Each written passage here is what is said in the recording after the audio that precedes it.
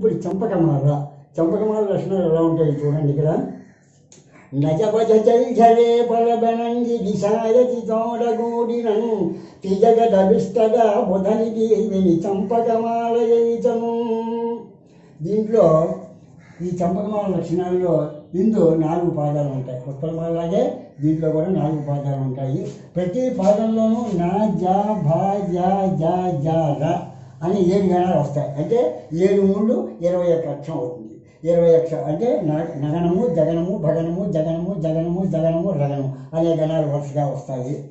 అయితే యతిష్టానం పదకొండవ అక్షరం. అంటే నాలుగో గణములోని రెండవ వర్షం ప్రాస నియమము మనం పాటించాలి. ప్రాస అంటే మొదటి పాదంలో రెండవ అక్షరం ఏదైతే ఉందో నాలుగు పాదాల్లోనూ కూడా అదే అక్షరం రావడాన్ని ప్రాస నియమము అంటారు. చూడండి ప్రాస నియమం వస్తుంది నాలుగు పాదాల్లోనూ కూడా అదే వస్తుంది. అయితే దీంట్లో యతిస్థానం పదకొండవ అక్షరం. ఉత్పలమాలలో పదో అక్షరం యతిస్థానం చంపకమాలలో పదకొండవ అక్షరం యతిస్థానం దీంట్లో గుర్తించిన చూడండి ఉదాహరణ ఇక్కడ నలదమయంతులు ఇద్దరు మన ప్రభవానల భజ్యమానులై చూడండి మళ్ళీ ఒకసారి.